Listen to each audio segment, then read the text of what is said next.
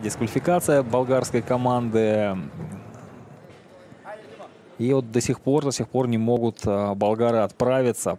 Потихонечку, потихонечку появляются молодые атлеты.